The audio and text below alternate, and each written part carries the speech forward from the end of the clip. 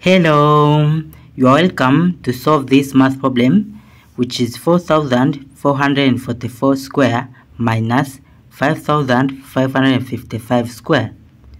Now from this our problem here is in the form of a perfect square. So we'll apply a perfect square rule which is a square minus b square is equal to a plus b bracket times a minus b bracket so we'll apply this form of a plus b. It will be this plus this.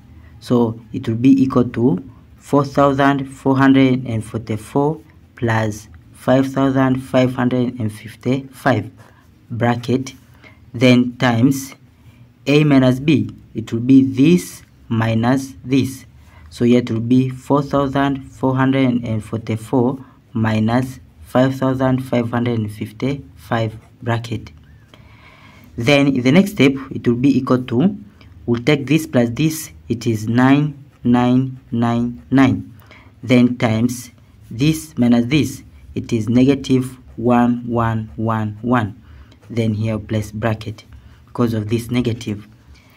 Then in the next step it will be equal to we'll take this negative outside of bracket.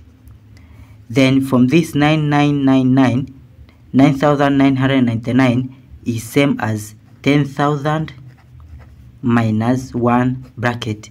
Then times remember this negative take outside of bracket so it will be times this 1111 then in the next step it will be equal to we'll take this 1111 inside of bracket. So this will multiply this minus this multiply this.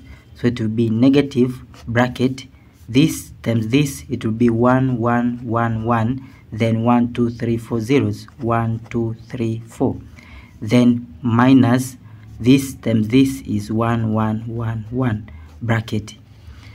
Then in the next step it will be equal to this negative we'll take this minus this.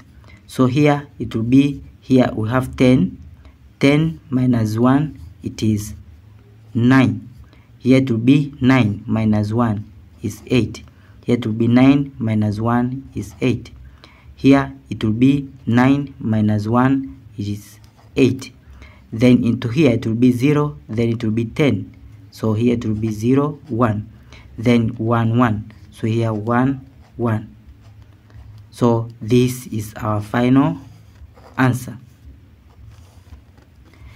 Thank you for watching.